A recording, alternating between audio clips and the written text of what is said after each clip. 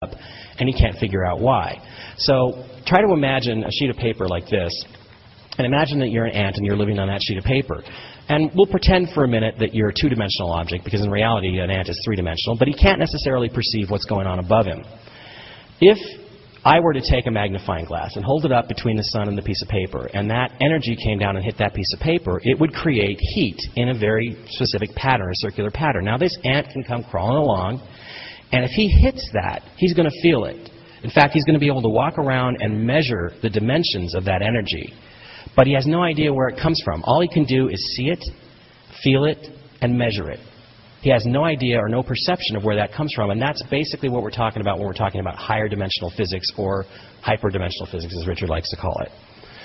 So we can see the effects, and that's what we think we're seeing in these energy upwellings on different planets and that sort of thing. It has to do with spinning processes and, and all sorts of interesting stuff. There's, in the book, we talk about Einsteinian um, uh, tensor torsion fields and things like that. And if you really want to get into depth on that, I would advise you to go read uh, chapter two of the book of Dark Mission. So what you have then is this concept of these tetrahedrons being somehow driving physical forces in the universe. This is what's called a double star tetrahedron. It's just basically the same shape uh, of a tetrahedron encircled by a sphere. And again, you've got the 19.5 degrees touching. This is another artistic representation of what's called a double star tetrahedron, and again, having it circumscribed. But it's more commonly uh, known as we take it into two dimensions. If you take that three-dimensional object and flatten it in two dimensions, you get this, which is pretty much known as the Seal of Solomon, the Star of David, um, you know, the flag of Israel. And what I want you to notice is that as well as this uh, triangular shape, this dual triangle shape that you have here, in the middle you have another shape, which is a hexagon.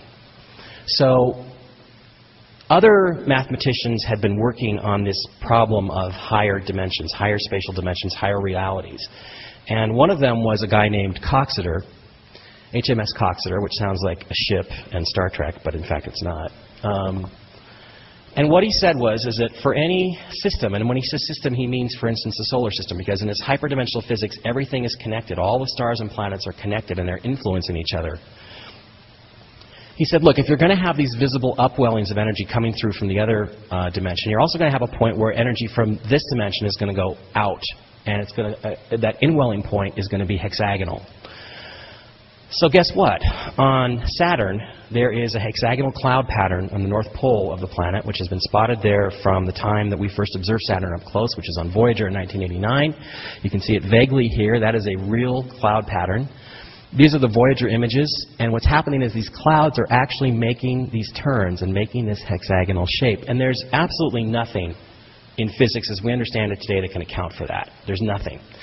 So recently we went back, and here's what the Cassini probe found just last year, which again is this hexagonal cloud pattern in the North Pole, which again seems to imply that the planets are following uh, rules of physics that we do not fully understand, or at least we don't have any real um, model for.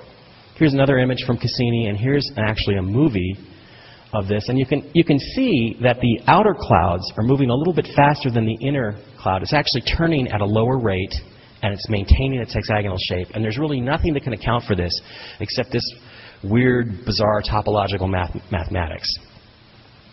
Um, a couple of other things I wanted to talk about real quick. Uh, Farah's presentation, she talked about um, water rituals and healing rituals and things like that. And there was an, actually a guy named Dr. Hans uh, Jenny who did something that's now commonly called cymatics. And what his experiments involved was taking particles and suspending them in fluid or taking sand and putting them on metal plates and then vibrating those fluids or vibrating those plates at different frequencies. And when he would do that, he'd find that the sand or the particles would organize themselves into these geometric shapes. And very commonly you had, well, this one I just thought was so cool, I just wanted to put that one in there. It's not really got anything to do with it. But at certain frequencies you get hexagonal shapes in the middle. And then later on, one of the ones that I thought was really, really interesting was this one, which again, you're seeing this double star tetrahedron shape. This is one of the water uh, particulates, and it just basically forms itself along these geometric lines. So it has, seems to be implying that there is a physics involved with vibration. And of course now, you know, the big thing in physics today is this uh, string theory, which is that we've all got these vibrating strings inside of us that are tuned to different frequencies and all this stuff. And gee, guess what? It's basically just sort of the poor man's uh, version of hyperdimensional physics, what Maxwell was working on back in the 1800s. So there seemed to be a message to this mathematics of these ruins at Cydonia, and that message seemed to be a couple of things. First of all, the tetrahedron is the base building block of the physical universe, and there's a lot more about that in the book. Right now, in fact, there's even been some mathematical modeling they've done that they think that the atoms inside of you, the nucleus of the atom, which of course nobody's ever seen, they expect it now when they find it to not be the little round rubber ball that we've all you know, seen in our atom diagrams and movies when we were a kid in school. They expect it to be a double star tetrahedron. Now, of course, they're not connecting it to this other stuff, but I think it does connect. And the other message was, look, higher spatial dimensions exist, and if they do exist and there's energy coming through from them, what that means theoretically is that you can master that energy. You can have unlimited energy. You can control gravity which would explain a lot of the stuff we see from UFOs, flying saucers, some of their behavior, which seems to be outside of our known laws of physics. Okay, so um, back to artifacts. Uh, it looked like in the early 1990s that this subject was going to be settled. We had a new probe going to Mars called Mars Observer. This is it and it was going to be going in 1993 and taking high-resolution pictures of the surface of Mars. The problem was NASA had no interest in taking any pictures of Cydonia or the face. In fact, they were really, really hostile to the idea. Uh, it got to the point where they would send people out, like here's Dr. Steven Squyres, who now runs the Mars Exploration Rover program over at JPL. He's uh, Carl Sagan's protege at Cornell. They sent him out to debate Richard and some other people on the question of Cydonia. This is a great one. Um, I, Richard's got these videotapes, and I'm trying to get them for the, the special edition of uh, Dark Mission to put them in a DVD so people can actually see this. Because at the end of this debate, what happened was the Squyres had to admit that he never actually looked at any pictures of the face or of Cydonia, but he was out there claiming there was nothing to it, even though he'd never looked at the pictures.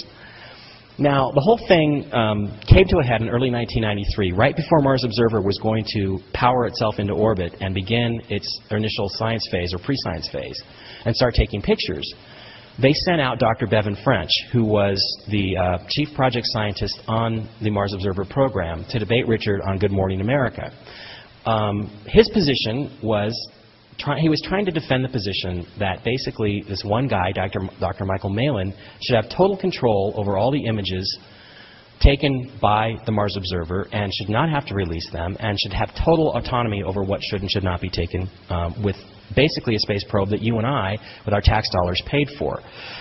At the end of the whole thing, uh, Richard again mopped up the floor with them. The host, Bill Ritter, finally said, Look, Dr. French, why don't you just take the pictures, immediately release them, not embargo them, and then prove these guys wrong if they're wrong. And of course, French didn't have an answer for that. Well, what happened after that was really, really interesting because about two minutes after they went off the air, after French had lost the debate just the way that Steven Squyres had lost his debate with Richard, Mars Observer disappeared. Or more precisely, they claimed that it disappeared 14 hours before. Now, I don't know, if you're the chief project scientist, I, I find it hard to believe that you don't know that your probe has been missing for 14 hours when you go on national television and debate the question of artifacts on Mars. It seems to me that he could have gone on there and said, look, uh, we really can't talk about Cydonia because we're not even sure if we have Mars Observer anymore. It disappeared 14 hours ago. We can't communicate with it. That would have changed the whole thing. Instead, he goes on, he tries to win the day, he gets creamed in the debate, and then guess what? They pull the plug on the thing right after that. Now, I think that's exactly what happened. They never did determine what happened to Mars Observer because they turned the telemetry off. They turned off the radio right before they did this deorbit burn. They came up with a couple of possible scenarios. I think James Oberg, big bloated sack of protoplasm from NASA. Um, did I, did I get, do you guys get the impression I don't like him very much? He, he tries to claim, well, they know exactly what happened. Well, they don't have the slightest idea. And the reason they don't have the idea is because for some reason they turned the radio off. And to me, it's pretty obvious. They turned it off because they didn't want anybody to know that they either A, took the thing black, or B, blew it up themselves. One of the two. Because they couldn't face the reality of what they would have to take pictures of, because the pressure at that time was enormous. Now, this is a pattern that's, that's, continued to today. We have the Phoenix lander on Mars, and if you might remember back in uh, 99, I want to say, there was something called Mars Polar Lander. Well, Mars Polar Lander was supposed to do the same thing that the Phoenix lander is now doing um, on the poles of Mars, but it also disappeared. And then mysteriously, NIMA, who that guy Erol Torun works for, came along and said, well, we found Mars Polar Lander, and it's right here, and it's perfectly fine. And NASA said, oh, no, no, no, no, no, no, you couldn't have found it. It's, it's, so the pattern seems to be, and there's a couple other probes that are like this, is they send one probe to Mars, It fails, quote unquote, and then they send another one. And I think what they're doing is they want to go and look for themselves first and find out what they're going to have to tell people before they do the public one. And I just think that